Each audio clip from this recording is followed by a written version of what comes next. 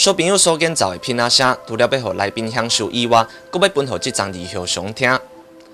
民间乡民间国小学校内面有一张超过百年的二号熊，美丽的树形得到国家的肯定，加上伫平地还能看到尖叶树种，所以互福田树木保育基金会入选全国学校上水的树木。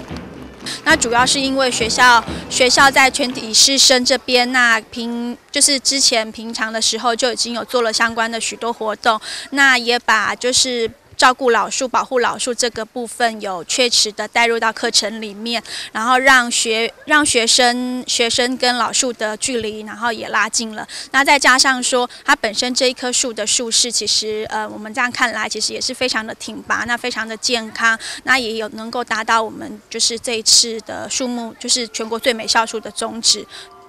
除了更进学校百年来发展历史，嘛是真侪校友的回忆。学校将这张离合箱作为平常时上课的外教材，和学生会当更加珍惜每一张树木。福田树木保育基金会全国最美校树的选拔，诶，